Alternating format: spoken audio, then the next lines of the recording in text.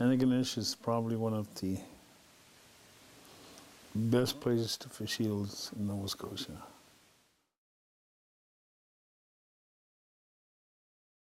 For years, for hundreds, thousands of years.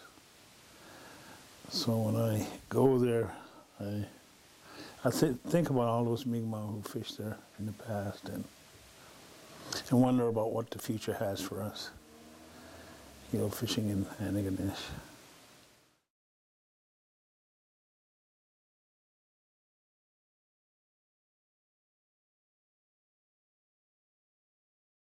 kadawa dew jim kede da sit mi gamagi mpeson nabu wa ka kadara iktu kode inige ya akpid merkuis kedes kes nakada was waadu na kadari. Do jua elbi ede bidaro nak pidin kala. Managis padegna kiljimel gedo kode inige much Amskotlau udanka ምን ደግሞ ወቅት ይጎና አሪጀ ቦስኪ ጋብጆ ላሪጂ ምን ደግሞ ዶኒ ጎናዳ ጋብጆ ሊጂ ላይጅ አበጊ ሲንካይጅ አንክል ሳይመን ሞዳሉዋ ከማጂ ባስ ሪባኒ ማጂ ቴሌማጂያ Unjiliaamun kuukunta puolkiga. Toiga oli japsi maamiku. Talip kidauks, kis talip kidauksidah. Aptahan arjaksi, se baatah viluu. Sorel voi niina puoltaan hooja. Tiinem kis läädikillä. Tämä on niinkin äh, niin kisku, mun kis tiesit, no koi, mutta mun. Delaware ni muda biano mijib chewe. Chidna gamoko. Ach Delaware ni samgani te bol ta hoy kisi go dasik. Tan mud lewe nako. Mudaha muda jige kanok muda jige kanok tan tan was tan was kawasi mi mej kado. Mana kisi go.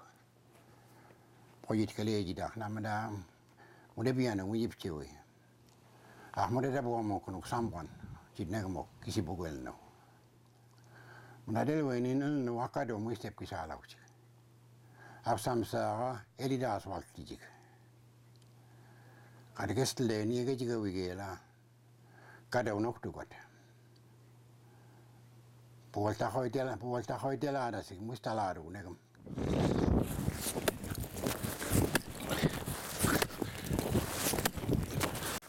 So we went out and uh,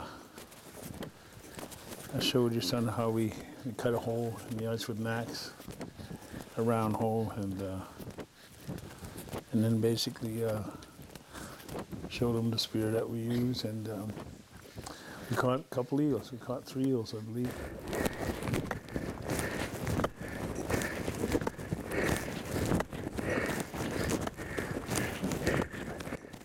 I it's just being out there. It's like a little community when you're out on the ice. You meet people. You don't see them anywhere else. Sometimes you'll see them in Tim Hortons or something, but you've met them on the ice. And you only know them that way. It's, fishing. And uh, the only time you get to see them is in the wintertime. And sometimes you don't see this person anymore and you wonder what happened to him. So he either passed away or he's too old to fish. And you wonder who's getting eels for him. Hi, my name is Shelley Denny, and I'm the biologist for the Unama'ki Institute of Natural Resources. And today I'll be talking a bit about eels and the study that we've been doing in the Bras d'Or Lakes and what we've learned about them so far. And, uh, this eel is, uh, it measures 602 millimeters or 60.2 centimeters, so it's, it's a typical eel that we would find here in the Bras d'Or Lakes. Um, many of our fishers don't get them very small, so they usually get them around um, around this size or slightly smaller. So after we take the length, we go and measure how heavy it is.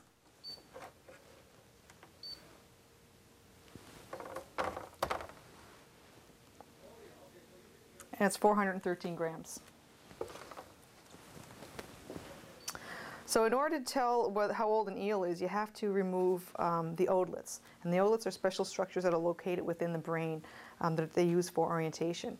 And they're also pretty good because they record growth rings, growth patterns. So by removing them and sending, having them sent away, we can actually age um, this fish and see how old he is or she. Well, this is an eel otolith that uh, we send away to be aged. And then we take the information back from the age to apply it to the length category of the fish. So it helps us um, uh, determine the age of other fish that we can't afford to identify. Well, all eels are born in, in the same place in the Sargasso Sea um, near Bermuda. All eels, the ones in Newfoundland, Gulf of St. Lawrence, Bras d'Or, Florida eels, they, they all come from the same place. The, their population is known as uh, panmictic. It means that they come from one genetic, um, one genetic population. Once eels spawn, they presumably um, die, and the eggs um, quickly hatch into larvae uh, known as leptocephali, and they drift on the ocean's currents for about a year or so.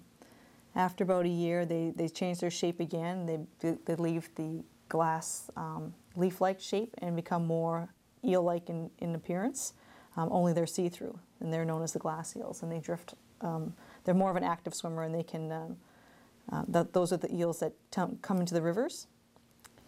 Uh, once they hit the rivers, they, they change their color and become pigmented, so they take on the typical eel colors, and then they hide for several years, uh, coming out when they get larger to